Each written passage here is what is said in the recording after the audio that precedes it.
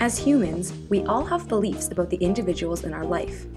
These beliefs have a huge impact on how we interact with and respond to each other. The specific beliefs that we hold about ourselves and other people are known as mindsets. Mindsets can be about personality, intelligence, talent, skills, potential, and any other number of traits. Mindsets are important when we think about working with students. For instance, if Sammy gets a poor grade on a test, there are different ways he can respond that will impact his actions and thoughts in the future. If he thinks, I don't have the skills for this, I'll never be able to learn and do well in the future, he is likely to have lower self esteem, reduce his effort in the future, and be less motivated to study for his next test. However, if he thinks, that's too bad, but I really didn't try my best for this test, I'll study harder and get a good grade next time. He is likely to maintain his self esteem, put effort into his studying, and stay motivated in this class. These perspectives reflect different mindsets that Sammy might have. The mindsets of others also impact future performance. If Sammy's teacher says, Math just isn't your subject, Sammy, maybe you'll do better in English. He may feel unmotivated to put effort into math tasks in the future. However, if he hears, Sammy, let's talk about how you prepared for this test, and maybe we can come up with some helpful strategies for next time. He is likely to stay motivated and study harder to improve his grade. The purpose of this video is to explain what it means to have a growth mindset. In doing this, we will 1. Explain what a mindset is, 2. Explore links to brain science, and 3. Discuss how it impacts our use of strategies. Overall, our goal is to explore ways in which we can support success in all children with the right perspectives and supports. So, what is a mindset? Researcher Dr. Carol Dweck studies mindsets. She has stated that there are two different types of mindsets we can hold fixed and growth. A fixed mindset is very much the way it sounds fixed as in unchangeable. People with a fixed mindset think that setbacks mean lack of ability, and that practice and hard work won't make a difference. They might say, if I fail, it's because I just can't do it. Practice and hard work won't make a difference. And this is just the way it is. This type of thinking makes it hard to motivate ourselves, recover from setbacks, or achieve in school or at work. For Sammy, this would mean believing he can't do math, and therefore be less willing to even attempt math tasks. Growth mindset views human traits as capable of changing in many different ways. This could be through effort, hard work, different strategies, understanding that everyone is different, and receiving support from other people. With this mindset comes the belief that all people are capable of achieving success if they and others believe it is possible. It also involves an understanding of what is an appropriate goal and how to get there. People with a growth mindset are typically focused on learning, are more willing to confront challenges and use effort and strategies to achieve their goals. They might say, If I fail, I can work harder next time. Practice and hard work will help me improve. I just need the right strategy and support. I can do it, and I won't give up. People with this mindset are also more likely to stick to difficult tasks because they view abilities as something that can be improved. Failing is a part of learning, and that is okay. For Sammy, this means believing that with a new strategy, he could have success in math. A growth mindset requires innovation, flexibility, and creativity in pursuit of success. Applying this perspective allows us to learn from trial and error, persistence, and teamwork. Both the student and their support system believe that working together can help achieve goals. Supporting students to develop growth mindsets helps them establish a framework for problem solving that persists through failure. Together, we can move from asking if a child can succeed to how a child can succeed. Let's talk a bit about the brain. Brains are wired for a growth perspective, as they are constantly growing and developing. Think about developmental milestones, like learning to talk and walk, this learning was possible because our brains changed, and this growth does not stop at any age. A large part of this is because of experience dependent neuroplasticity. This means that with experience and lots of practice, our brains continue to evolve. With the right focus and strategy, our brain can change as we use it. We add new connections to allow for new communication.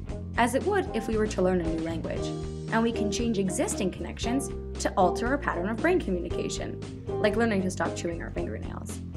We are essentially exercising our brain, just like other muscles in our body, so that the connections become stronger and greater in number with use. It doesn't matter what our brain looks like at the beginning, anyone can grow their brain. Let's use an example to illustrate how new learning and brain flexibility work. The growing brain is similar to an individual's experience driving in a new city. In the old city, we knew how to get around, so it was comfortable. The new city, however, is not very comfortable, just as learning something new can feel uncomfortable. We might get lost, we might need more time to get places. However, as we begin to move around this new city more frequently, we will gradually go further distances, move more rapidly, and gain confidence. This is similar to what is happening in the brain when we try something new. At first, we may feel uncomfortable, work slowly, and make frequent mistakes. These are not familiar pathways in our brain. However, as our skills increase, we experience greater success and efficiency, as the connections associated with these new skills are getting stronger with use.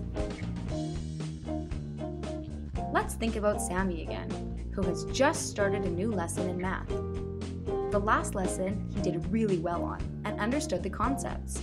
The new lesson, however, is not comfortable. It does not feel good in his brain. But Sammy and his teacher have a goal to learn the new material, just like he did last time.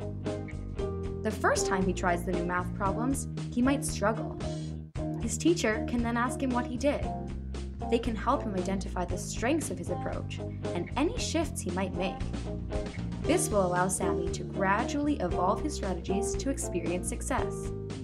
As Sammy begins to practice the new math concepts more often, he may gradually be able to do more complex problems, complete them faster, and feel more confidence in his ability to master the new math unit. In his brain, this means that new connections are being formed and strengthened due to the continual practice. By using and strengthening these new connections, Sammy is able to achieve success on this math unit test. He will also be more open to trying new strategies for harder math units in the future, as he believes he has the potential to learn and grow his brain with the right supports. The take home message with the brain is simple it can change and grow in response to strategy, use, and practice, even if this may be uncomfortable at first. However, this can only happen if we support others towards growth and believe in growth ourselves. When working with students, we often ask ourselves how can we influence development and support growth? What strategies work and what goals are appropriate? To begin, we need to first understand that all behavior has a function. If a student knows that a specific and familiar behavior will meet their goal, they will take that road, even if others don't like it. For example, when Sammy struggles with multiplication skills, he might goof off with his peers and refuse to do the work.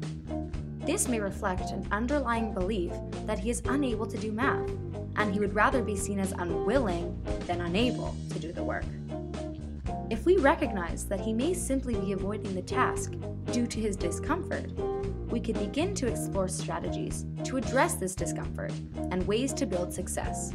In other words, adopt a growth mindset through a revised goal that responds to the needs of each student.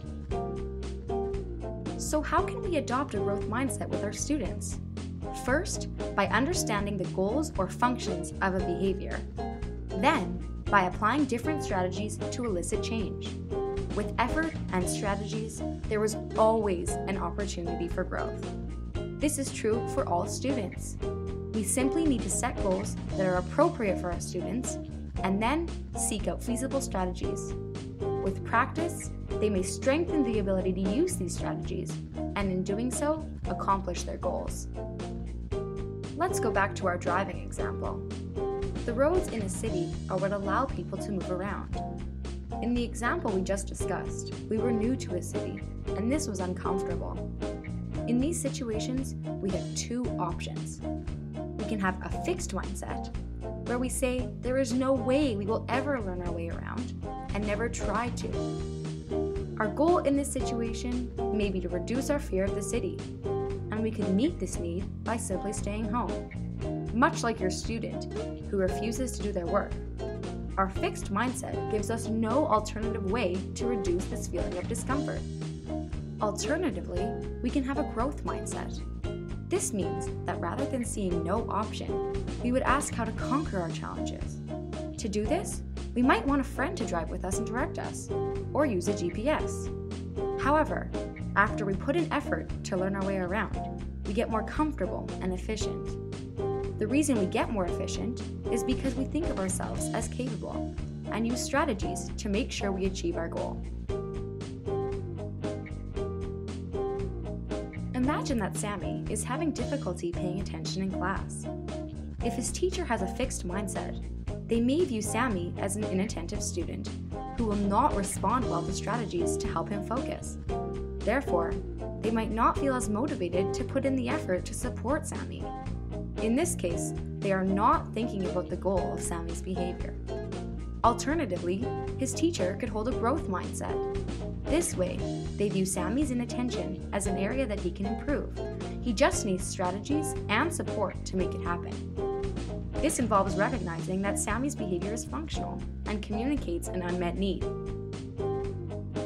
For example, they may allow Sammy to take movement breaks, modify his lessons, or seat him close to the front. With a growth mindset, the teacher believes that Sammy can achieve success, and as a result, provides strategies and support to help him achieve this success. Eventually, Sammy may be able to use his strategies for paying attention in class and start believing that he is capable. It is important that Sammy creates a toolkit of strategies to adopt, as opposed to always going back to the same one. This way, Sammy will know that there are always options for when he has trouble paying attention in class. Sammy has also learned that he can be successful if he works hard, which encourages a growth mindset. In other words, a positive belief in himself about his ability to learn and grow. Now, of course, it is not possible for all people to have a growth mindset all the time. It can be difficult to constantly think about the goal of a behavior and come up with strategies to target that behavior. But with practice, applying a growth mindset can become more second nature. What is important is that someone is using the growth mindset and providing alternative strategies. For example, maybe Sammy shows up to school and he didn't have a good sleep. Maybe he is acting out, having difficulty with completing tasks, and he starts saying things like, I'll never be able to do this. Even though Sammy is using his fixed mindset, he can be met with a growth mindset from his teacher or anyone else in his support system. For example, his teacher can continue to remind him that even trying one strategy is a success and that they are there to support him. The fact that at least one person was using their growth mindset is what is important. It is possible that as the day goes on, Sammy may be able to switch to his growth mindset. The important thing is that Sammy was supported and provided with strategies for supporting his success. The purpose of this video was to shift our interpretation of many concepts that we already know. The reality is, we can make a huge impact on our own lives as well as the lives of our students simply by shifting to a growth mindset. When we believe that everyone is capable of changing, learning, and growing through hard work and effort, amazing things can happen. We need to shift our focus away from only looking at the challenges and move towards an area where strengths are emphasized and opportunities for learning are encouraged.